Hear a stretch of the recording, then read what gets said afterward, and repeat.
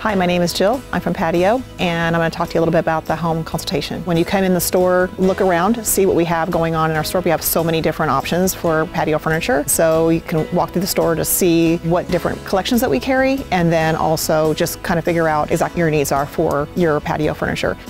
If a customer comes in with a photo, I can take a look at it and see what their patio looks like. And if they are interested, I can do a home consultation. What I do is I usually do a sketch and figure out exactly what they're looking for. So the sketch will help them kind of guide them through their backyard. And we can sit down, figure out what they're looking for and what their needs are for their back patio. Some people have no idea what to buy. And so that's where I come in and I help them kind of figure out exactly what their space looks like. I do home consultations where I go out to their house and guide them through what the pieces they're looking for.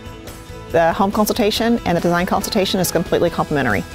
Paddy O'Furniture, find your bliss at one of our locations or shop online.